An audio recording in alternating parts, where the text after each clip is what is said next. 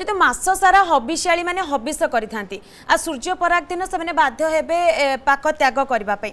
ସେମାନଙ୍କ ଉପରେ ପ୍ରଭାବ କଣ- ପଡିବ? କାରଣ ହବିଷ ଯେହେତୁ ସେମାନେ କରୁଛନ୍ତି ପୁରା ଦିନ ଯାକ ଭିତରେ ଗୋଟିଏ ଓଳି ନାଇଁ, ସେମାନେ ମାତ୍ର ଖାଉଛନ୍ତି। ଆଜ୍ଞା।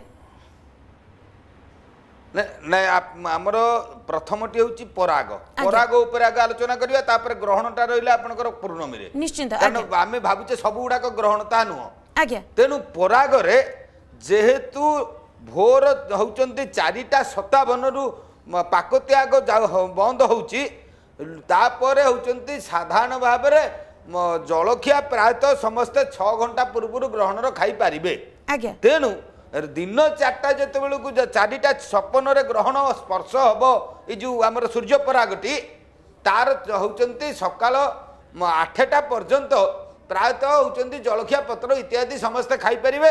ଏବଂ ବାଲ୍ୟ ବୃଦ୍ଧ ରୋଗୀ ଏମାନଙ୍କ ପାଇଁ ଗ୍ରହଣରେ କୌଣସି ବାରଣ ନାହିଁ।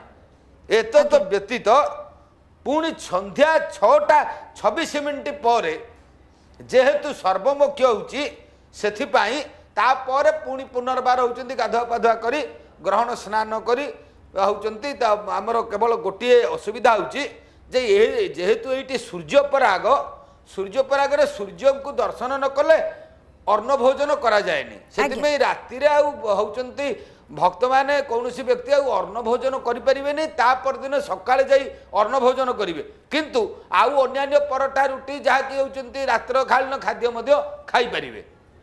ଆଜ୍ଞା। ସେମିତି ଚନ୍ଦ୍ରଗ୍ରହଣରେ କଣ କରିବେ ସାର୍? ଚନ୍ଦ୍ରଗ୍ରହଣ ଆମର ଅନୁଷ୍ଠିତ ହେଉଛନ୍ତି କାର୍ତ୍ତିକ ମାସ ପୂର୍ଣ୍ଣମୀ ଦିନ। ଆଜ୍ଞା। ତେଣୁ ପୂର୍ଣ୍ଣମୀ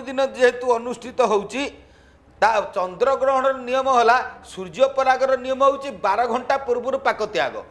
ଏ କାରଣ ଏ ବର୍ଷ ପାଞ୍ଜି ପ୍ରାୟ ସବୁ ପାଞ୍ଜିରେ ଭୁଲ ଭାଲ ଲେଖା ହେଇଛି।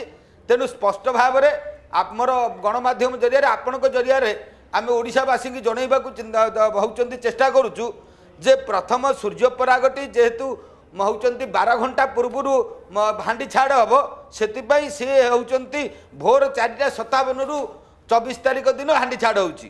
କିନ୍ତୁ ଏଇ ଯେଉଁ ଗ୍ରହ ଆମର ଚନ୍ଦ୍ରଗ୍ରହଣରେ ନଅ ଘଣ୍ଟା ପୂର୍ବରୁ ହେଉଛନ୍ତି ପାକ ତ୍ୟାଗ ହୁଏ। ତେଣୁ ନଅ ଘଣ୍ଟା ପୂର୍ବରୁ କହିଲେ ଚନ୍ଦ୍ରଗ୍ରହଣଟି ଆରମ୍ଭ ହେଉଛି ଦିବା ଦୁଇ ଘଣ୍ଟା ଅଠତିରିଶ ମିନିଟ୍ ଚଉଦ ସେକେଣ୍ଡରେ।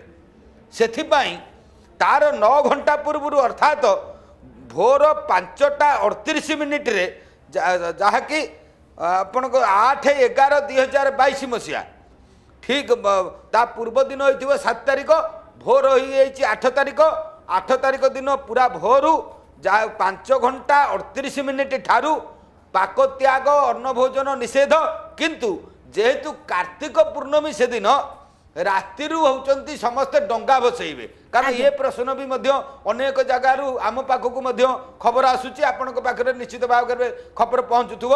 ତେଣୁ ଓଡ଼ିଶାବାସୀଙ୍କୁ ଆମେ ଏଇଆ ହିଁ ସନ୍ଦେଶ ଦେବା ଯେ ଯୋଉ ଭୋର ପାଞ୍ଚଟା ଅଠତିରିଶ ପୂର୍ବରୁ ସମସ୍ତେ ତୀର୍ଥରେ ସ୍ନାନ କରି ସ୍ୱତନ୍ତ୍ର ଭାବରେ ଡଙ୍ଗା ଭସେଇବେ ଯେଭଳି ଭାବରେ ଆମର ପାରମ୍ପରିକ ନୀତିନୀତିରେ ହେଇଥାଏ ସ୍ନାନ କରି ଡଙ୍ଗା ଭସେଇବେ।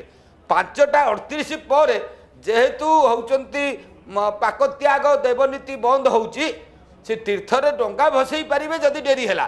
କିନ୍ତୁ ଦର୍ଶନ କେବଳ ମନ୍ଦିର ମାନଙ୍କରେ କରିପାରିବେ କୌଣସି ପୂଜା ଦେବନୀତି ହେଇପାରିବ ନାହିଁ।